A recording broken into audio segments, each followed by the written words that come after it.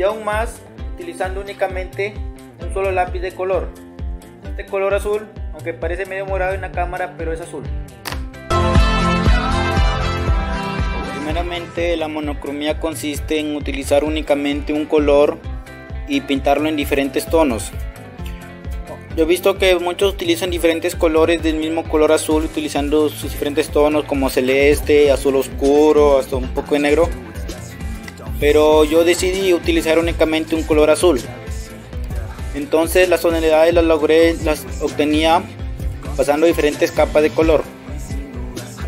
Es muy sencillo, lo único que tienes que hacer es pasar capas suaves, ir pintando de forma suave y en vez de presionar mucho el color tienes que irlo pasando capas tras capas hasta que se vuelva un poco más oscuro. Este dibujo he demorado más o menos unos 10 minutos haciendo el boceto y una hora casi pintándolo. Para, el, para pintar el pelo es la misma técnica que usé, la misma técnica que usé para el dibujo de Goku. Única diferencia que en vez de usar diferentes colores nomás utilizaba el color azul. Pasando primeramente una capa suave del color azul y luego ir marcando un poco más las, las sombras y ir viendo más los pelitos con más capas. Hasta que se comience a oscurecer así como está así como va quedando el pelo. La nariz también utilicé la misma técnica ir pasando un poco de azul para ir cogiendo color luego ir pasándole un poco más poco más capas para hasta que tenga el tono oscuro que tanto queramos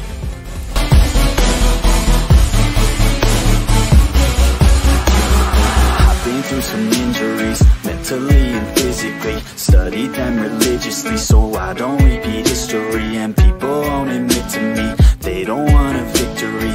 Bad enough to get a C They'd rather just go leave it be. And oh, this journey I've been on since 13 Working hard and learning Never stopping searching. Yeah, it's burning All this passion hurts me. I took action working Writing down these words. No, I'm not oh.